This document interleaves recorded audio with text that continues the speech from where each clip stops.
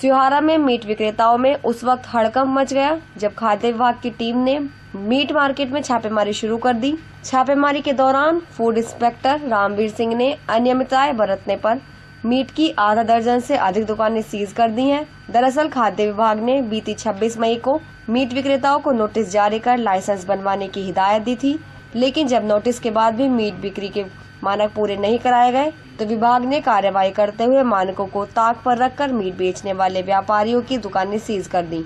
Meet विक्रेताओं की माने तो उन्होंने लाइसेंस के लिए अप्लाई कर रखा है लेकिन अभी तक उनके लाइसेंस नहीं बन पाए हैं। मेरा नबील नबील क्या मामला जो दुकानें सील हो रही हैं?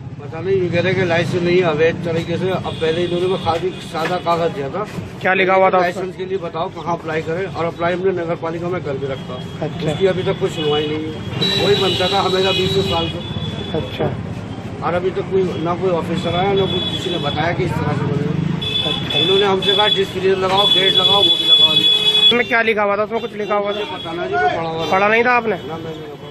उधर फ़ूड इंस्पेक्टर रामवीर सिंह ने बताया कि मानकों के विपरीत मीट बेचने वाले व्यापारियों को पहले नोटिस जारी किए गए लेकिन जब उसके बाद भी मानक पूरे नहीं किए गए तो बिना लाइसेंस चल रही मीट की दुकानों को सील कर दिया गया। सिहारा से नजम सिद्दीकी की रिपोर्ट। रामवीर सिंह खाद्य सुरक्षा अधिकारी। तो यहाँ जो मुर्गी की दुकान वगैरह सील की है क्या मामला पूरा मामला बताइए।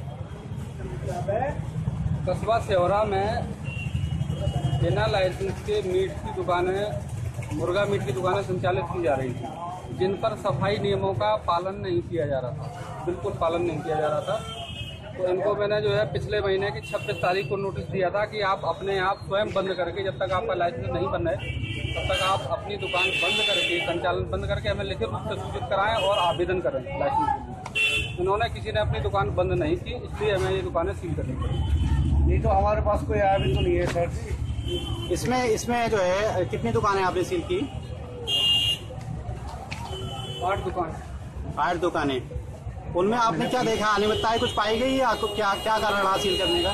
सफ़ाई नियमों का पालन नहीं किया जा रहा था और उनके पास लाइसेंस नहीं था।